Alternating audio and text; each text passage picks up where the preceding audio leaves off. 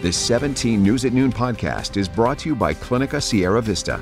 Welcome back to the 17 News at Noon podcast, where we share your news on your schedule. Ahead on 17 News at noon, breaking this morning, three men have been convicted of the murder in the killing of Ahmaud Arbery. More on the charges they faced and what comes next, coming up. Today is expected to be the heaviest travel day of the year. Experts expect multi hour delays on the roads and at the airport, how you can beat the traffic. And everywhere you turn, there's a new Black Friday deal, but which ones are deals and which could burn a hole in your wallet? Those stories and more on this Wednesday, November 24th, 2021. We begin today with breaking news. Three men have been found guilty of murder in the killing of Ahmaud Arbery. We, the jury, find the defendant, Travis McMichael, guilty. Travis McMichael, Gregory McMichael, and William Roddy Bryan were each found guilty of murder, assault, and other charges for their role in Arbery's death in February of 2020.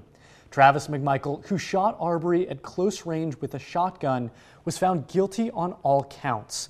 Gregory McMichael and Bryan were each handed split verdicts, found not guilty of malice murder, the most serious charge they faced. The three men had pursued Arbery in their pickup trucks after spotting him running in their neighborhood. The case gained national attention after a cell phone video of the killing taken by Bryan circulated around the world. The jury delivered their verdict after a total of about 12 hours of deliberation, and sentencing will occur at a later date. Well, in your traffic report, today is the busiest travel day of the year, and experts say the worst of the traffic is just about to peak. Today's general rule if you're planning to leave anytime soon, give yourself plenty of extra time. Now 17th Moses Small joins us live from downtown Bakersfield. Moses, things are supposed to get worse here in a few hours, but how's it looking right now? Chris, good afternoon. I'm right next to the 178 right now. It's really just a calm before the storm. We're expecting traffic to peak around 2 p.m., and that's going to last all the way until about 8 tonight. Now, the Auto Club of Southern California expects heavy traffic all over the state, and they say more than 4 million people will be on the move today, and more than 3 million of them will be driving. Anaheim is the second most popular travel destination in the entire country this week, so that all means you'll want to budget a few more hours than normal if you'll be on the road today all of our major freeways heading into our larger cities like Los Angeles and San Diego will be very busy. You want to give yourself extra time to get to your destination. Uh, you know, add on an extra couple of hours for that road trip and expect that those delays will slow you down. If you're heading down to Los Angeles for the holidays, some experts predict part of the I-5 South will see nearly four times more travel than normal. Now AAA says you have a better chance of shaving some time off of your trip if you leave after 9 tonight, but the delays will still slow down your trip. And experts also recommend packing some snacks for the ride. In Bakersfield, Moses Small, 17 News. Hello, this is Tim Callahan with Clinica Sierra Vista, and we're excited to unveil the Community Health Center of the Future, our comprehensive care center. It's located right across the street from Memorial Hospital. We have every service under one roof, from family medicine, OBGYN care, dental services for adults and children, behavioral health, and much more. So find your way to better care at Clinica Sierra Vista this year at our comprehensive care center. Visit our website, clinicasierravista.org, for the latest on this project. We'll see you soon. In your 17 Crime Watch, police arrested a man this morning who allegedly sexually assaulted a woman over 80, then barricaded himself inside a room with her, according to the Bakersfield Police Department. 30 year old Sergio Gonzalez of Bakersfield was arrested early Thursday after officers forced their way into the woman's home on Hughes Lane near Valley Plaza Mall, police said. He ignored commands and physical force was used to take him into custody. Gonzalez was arrested on suspicion of sexual assault of an elderly victim, elder abuse, burglary, and other offenses, police said. Anyone with information regarding this incident is asked to call the Bakersfield Police Department at 661 327 7111. And in your 17 Court Watch, new deals on an arrest made back in August involving an incident involving local radio show host Ralph Bailey. Surveillance footage captured at the July 31st altercation at Casey's Steakhouse, where Bailey was celebrating his upcoming birthday and was punched in the face. According to new court documents, an anonymous tip directed police to a social media account with photos of the suspect, later identified as Alexander Vera. The 36 year old Vera was arrested days later. Bailey suffered a broken jaw that required surgery, and he has experienced complications that recently kept him off the air. Now to the latest on coronavirus cases here in Kern County. This morning we learned another 253 people have been infected with the virus we also learned of another 12 deaths. The hospitalizations continue to drop, though. The latest state data shows 143 people are hospitalized due to the virus, 27 are in the ICU. And meantime, people living in Bakersfield now have a new and fast option to get tested for COVID 19. Public Health Service startup Curative has deployed a new testing kiosk in Bakersfield capable of conducting up to 250 tests per day to local residents. The results from those tests expected to be delivered just one to two days later. The kiosk is located on California Avenue, just off Highway 99, next to Accelerated Urgent Care. It's open Monday through Friday from 8 a.m. to 3:30 p.m. No appointment is needed. And before devouring turkey and stuffing tomorrow, you can burn a few calories while benefiting the Community Action Partnership of Kern Food Bank. Registration is still available for the third annual Turkey Day run at the park at Riverwalk.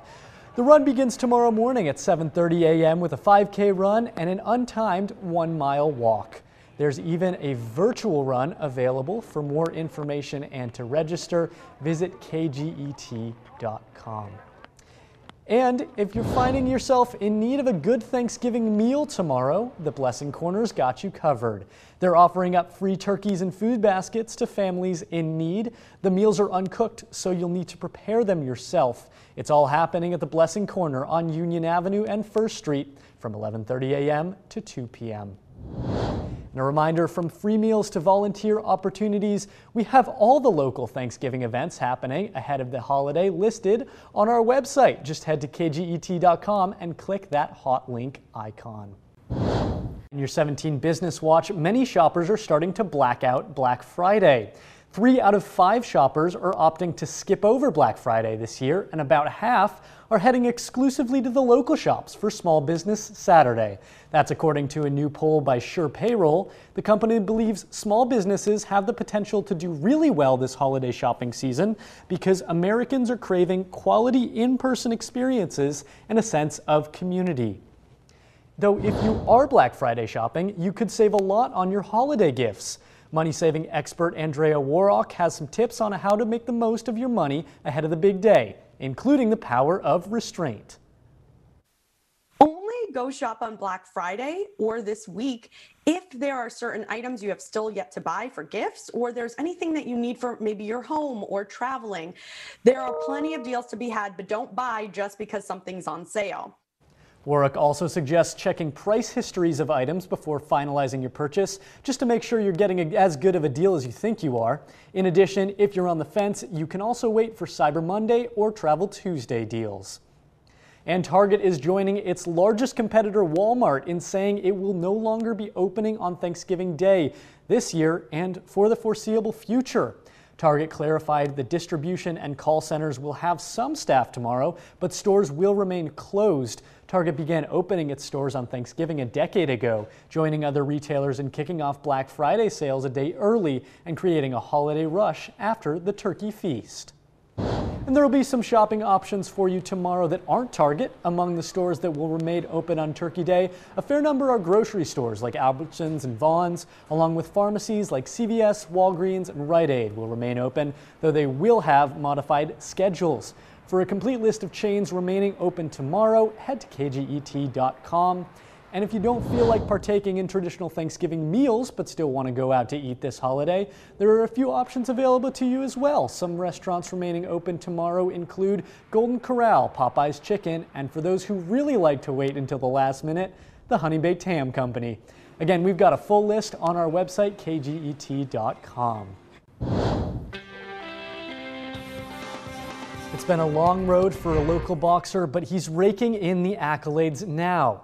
Joel Iriarte grew up boxing with his dad in a ring in his Bakersfield home. The 18 year old has been shooting through the ranks of American boxing recently. In July, he qualified for the finals of the Pan American Games, defeating Cuba's Pavel Echave by unanimous decision. Those finals, they're happening now in Colombia's capital city.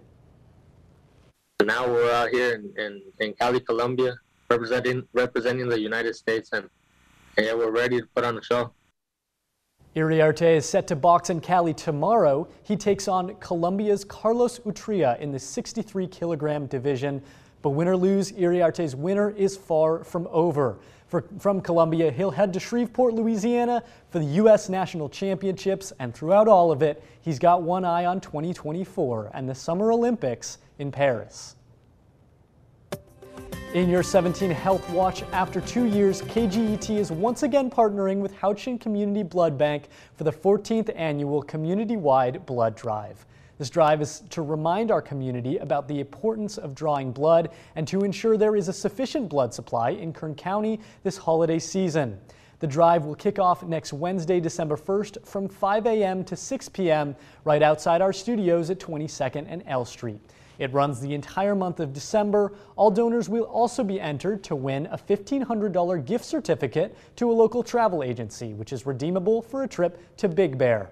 The winner will also receive a $100 gas gift card and a $150 Visa gift card for food and souvenirs. The 17 News at Noon podcast is a production of KGET and Nexstar Media Group. For more on all of the headlines in today's show, head to kget.com.